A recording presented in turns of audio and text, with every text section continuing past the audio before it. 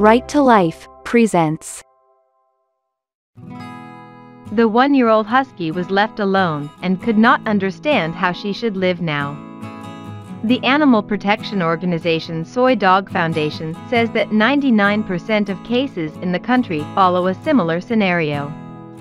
The fact is that huskies are extremely popular in Thailand, small and funny husky puppies, with their blue eyes and thick fur coat.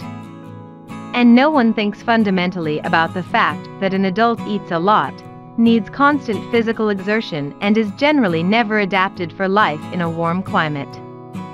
The puppy grew up on his street, out of sight.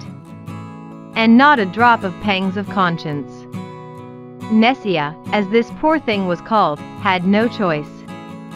She was lucky to survive until the moment when rescuers took care of her, but in a terrible state. Tumors, anemia, numerous injuries to the paws, and due to skin diseases, only rare shreds remained from the wool. There is nothing to say about hunger and despair. The husky was not at all ready to be on the street and did not understand at all how she could survive here.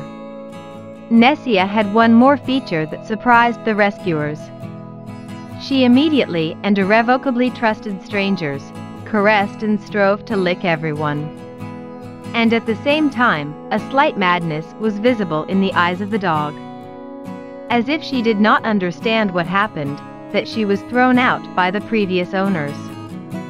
Probably, Nessie did not even have time to become attached to them and perceived everything that happened to her in a short time as a whole.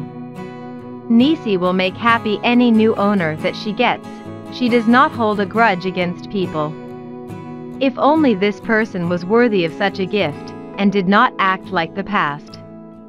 We wish Nessia to find a warm home and loving owners. Put likes, write comments and subscribe to the channel. Together we will make the world a little better. Ставьте лайки, оставляйте комментарии и подписывайтесь на канал. Вместе мы сделаем мир чуточку лучше.